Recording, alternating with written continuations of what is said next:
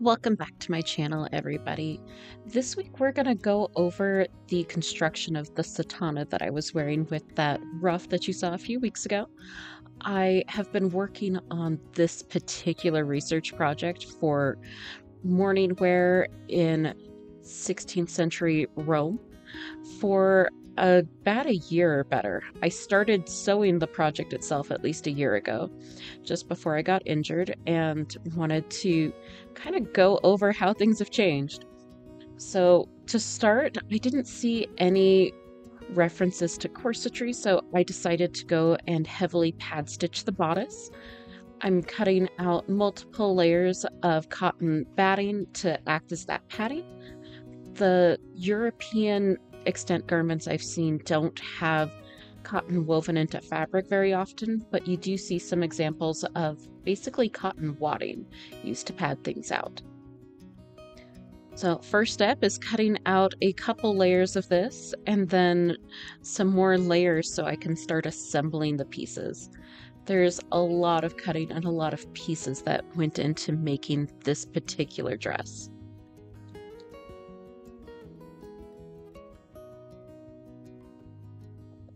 In my experience, cotton batting does not have a ton of grain to it. At least the way it's made modernly, it's more like needle punched together, almost like felt. So you can get creative with the directions you lay your pattern pieces out in order to get the best use of the fabric.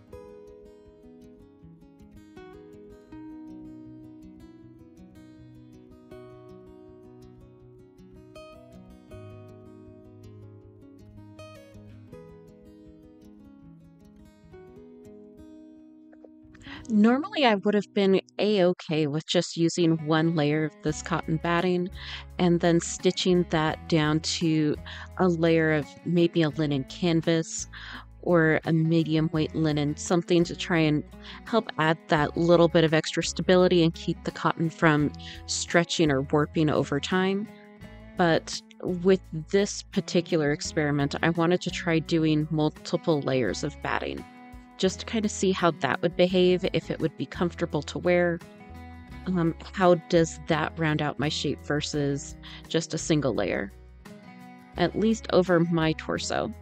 So I need to lay out my batting and cut out a second one of these layers. And then I'm going to do a little stitching to make them act as one piece once I'm done with this.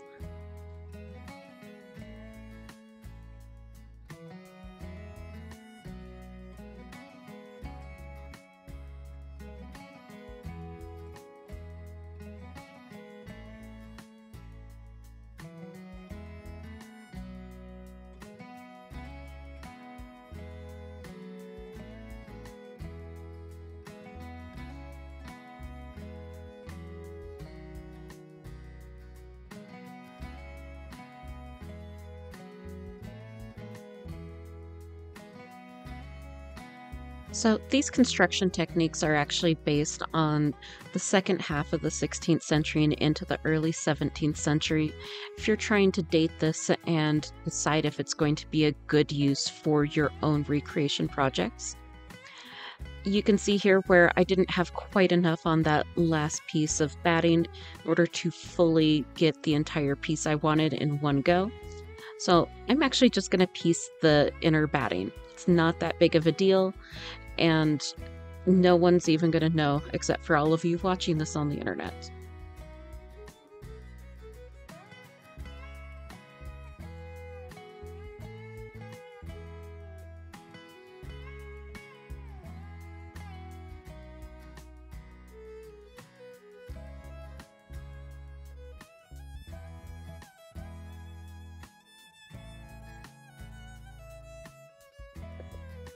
Because batting can be stretched out all on its own and molded and shaped, it can also get stretched out by the feet on your sewing machine. So, what I chose to do to help keep the batting in the structure that I wanted was I hand sewed everything together for this inner layer. First, I needed to join together the three pieces where I pieced one layer of my batting. And I'm just kind of doing some lazy almost pad stitches, whip stitches sort of things. They're going both through the layer underneath as well as joining the two pieces together. This made for a really strong join and by the time I eventually got to finishing this garment, it was actually starting to kind of mat together.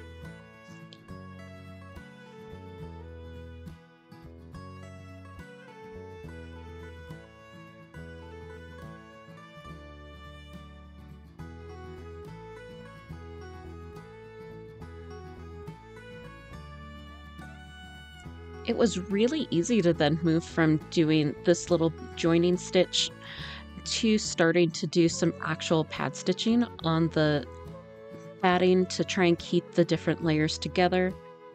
I just tried to make this really quick and as even as I could. You're going to see the stitches become a little bit more of that slanted regular basting that you see from pad stitches. I did do an entire tutorial on how to do pad stitching for this sort of garment when I was working on the pad stitching for my Lady Loki outfit. So if you are interested in a more in-depth tutorial, I'm going to link that down in the bio and it will be in the playlist that we link at the end.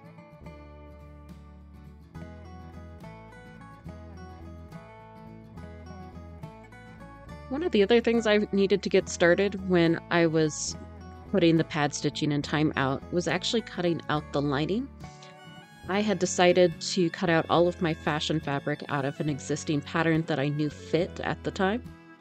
And that was so that a couple of us could try and get outfits out of the same roll of fabric, but I'd neglected to do any of my linings or interlinings at the time. So once I was done cutting that out, I started using it to line the inside of my bodice.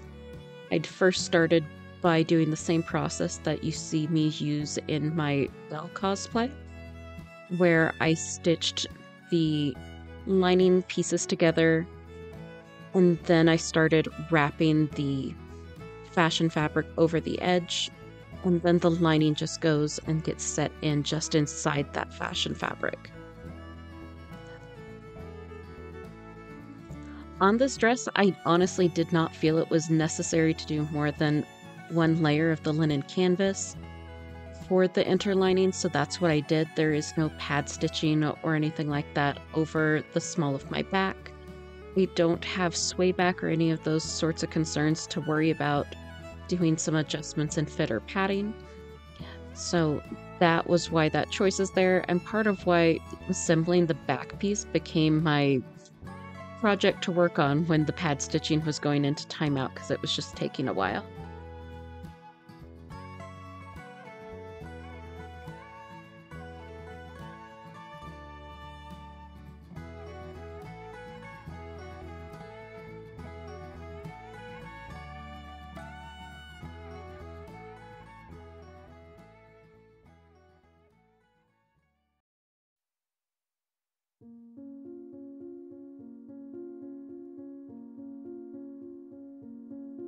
I did set my lining in with pins on this first, rather than just basting everything in and then stitching it down with a little more detail and focus, mostly because of all of the bias that goes into it. Side seams have bias to them, the arm straps have bias to them. It became a little bit of a concern for me to just start basting stuff down before I'd had a chance to kind of stretch and put the bias in place for where I wanted it to be. So, to each their own, if you prefer to just baste everything in first, I'm not going to stop you here on the internet.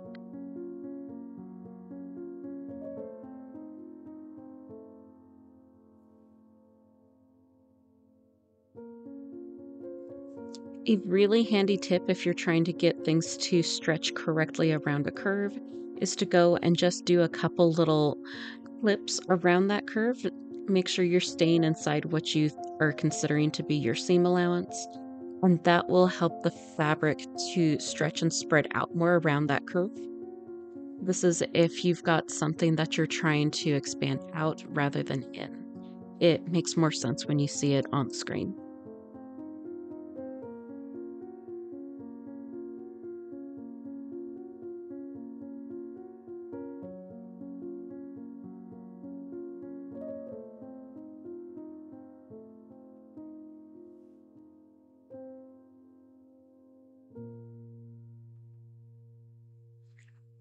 A small construction note, a lot of the linings on bodices in these dresses doesn't appear to have been heavily dyed. Black lining like this probably would not have happened in the time period, just because of how expensive black dye stuff was. But it is something I am choosing to do for my modern purposes. Um, frequently, you would see linings that show being something really beautiful or something that's intended to contrast, and linings you didn't see was often undyed, kind of generic fabric. So if you just want to line yours with something that is not exciting or doesn't perfectly match and it's kind of a neutral, you are in great company with folks that were working on stuff in the 16th and 17th century.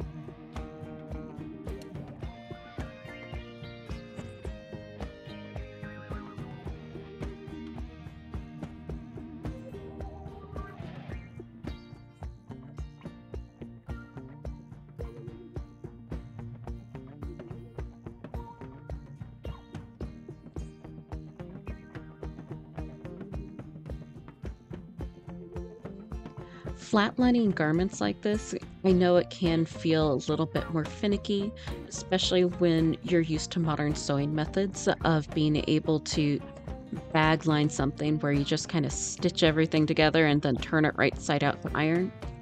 But it really helps to give the period silhouette. It also helps things lay a little bit flatter and cleaner around the body and around the support structures that might be in use. So if you don't feel like flatlining, I understand, but it does help to kind of create that period aesthetic that you're going for when you're making garments like this.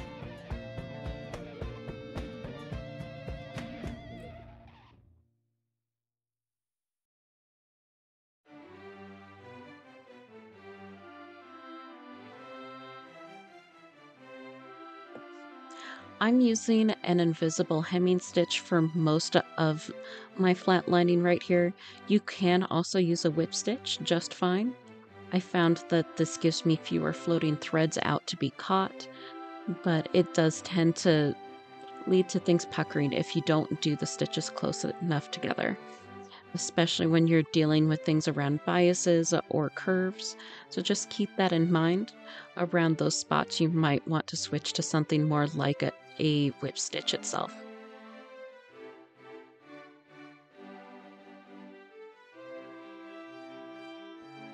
So, right about here is where I ended up getting injured, and this got put in a box for six months. So, when I came back out, I had cut panels for my skirt, but they hadn't been sewn together. So, I just sewed those together into a tube on the sewing machine with the cutout that I usually do at the center front for my point.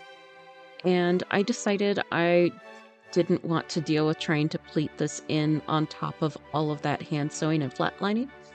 So I'm going to do the more period cartridge pleat style.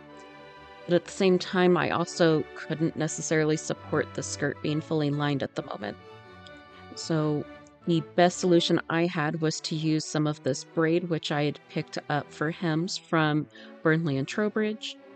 And I was going to stitch over the raw edge at the top of my skirt and then turn that under to encase all of the raw edges inside the braid and stitch the skirt onto the bodice. It's a method you see in later sewing so I figured it wouldn't hurt to give it a try for this one as an accommodation for myself. You can see I left the bodice open thinking I might just pleat it into that bodice and then stitch it, the lining on top of the raw edges of the top of the skirt. But it ended up being a little bit thick and bulky when I started trying to add those layers in and think about it rather than having the bulk be in my waistline, I preferred the idea of having it just below to help the skirts flare out some more.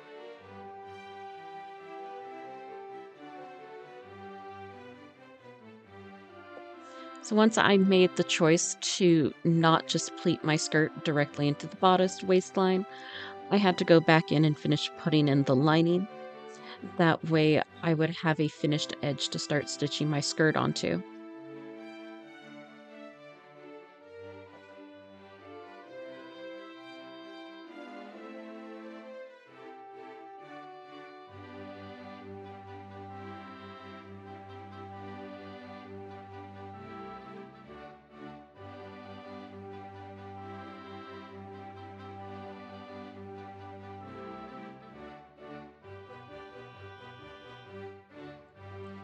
Once I had all of the lining put into the front of my bodice, I then had a basis to put my skirt onto.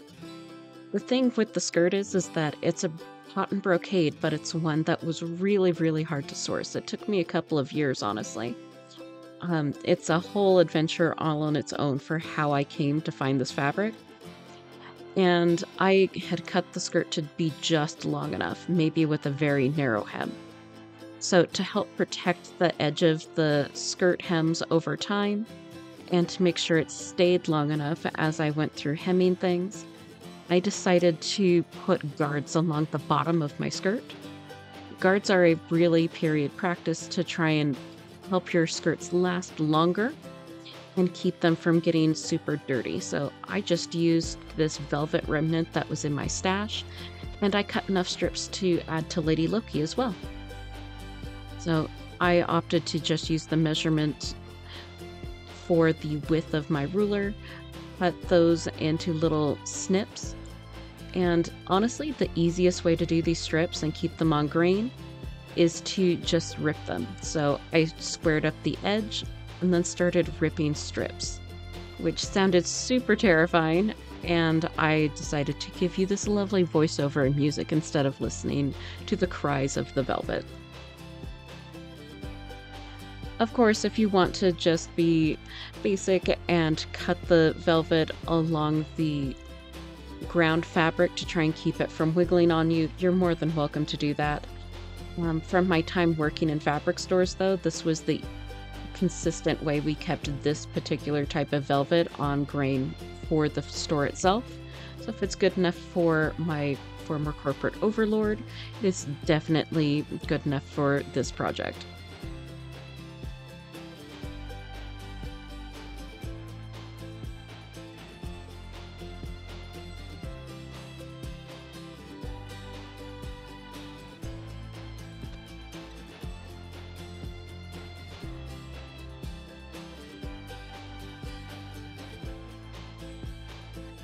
If you're doing this, you can honestly also measure out the length that you need to go around your skirts. I cut extra so that I would have enough to do this project and, like I said, Lady Loki, as well as maybe doing some different decorative pieces on some other projects.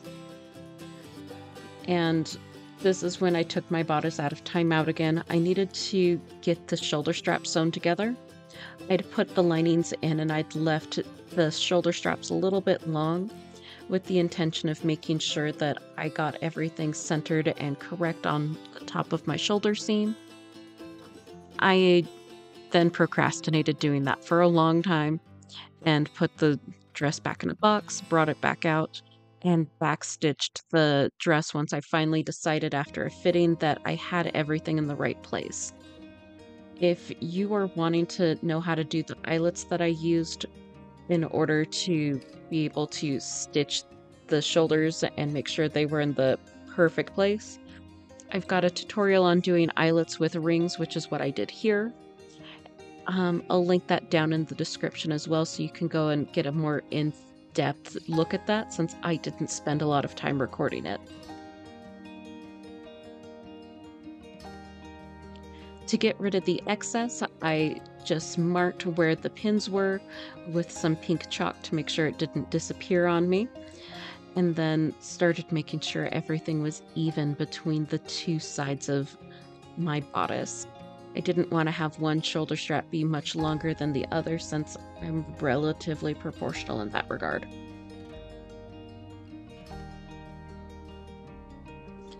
After getting all of the excess padding and structural pieces kind of clipped away from the seams, I was able to sew everything together and then spend a little bit of time getting the lining pieces to overlap and just make this a really easy sewing portion of my project. Make sure that when you're going through stuff like this that you're waxing your threads. It'll help keep them strong while you're going through this many layers of fabric and braiding the thread with your stitches.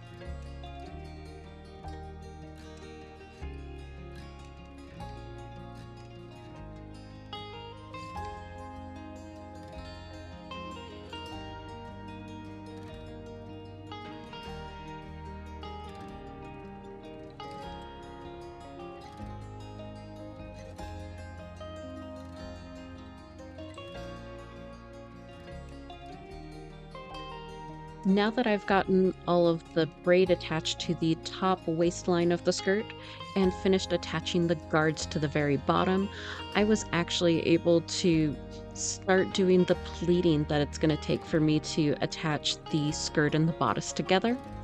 I did do an entire in-depth tutorial with fabric that isn't necessarily quite this dark and lighting that's a little bit brighter if you're wanting to see some really great detail on what's going on. So I'm going to link that down in the description as well as the playlist that that's part of for doing clothing and tailoring from the 16th century. So check those out if you're wanting to get a lot of in-depth looks on how to sew those together.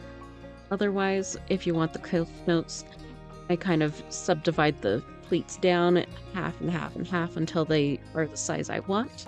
And then I whip stitch the pleats onto the edge of my bodice.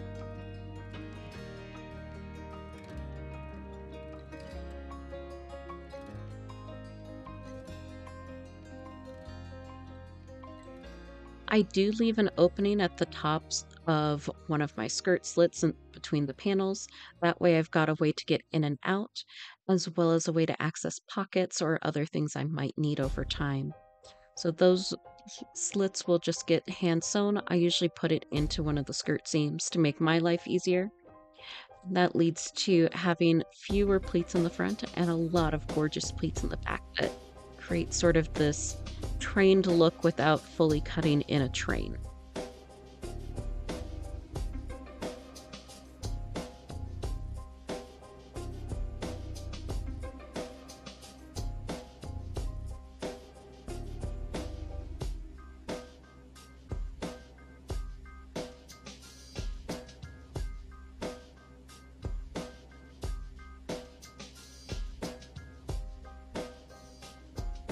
So, a year after I started sewing this outfit for myself, I finally finished my 16th century Roman dress. I love this style. I love the black and white aspects of it, the beautiful patterns from the brocade that got matched and centered perfectly between the skirts and the bodice. And I even love the sleeves, which are going to be their own separate video if you're wondering where those came from. So stay tuned for that sleeve video. And in the meantime, tell me what projects you've been putting off finishing and what your plan is to get them done. I would love to hear about it in the comments. And I hope you have a fantastic day. Like the video if you want to see more content like this and you can definitely subscribe to get that same effect. Have a great one. Bye.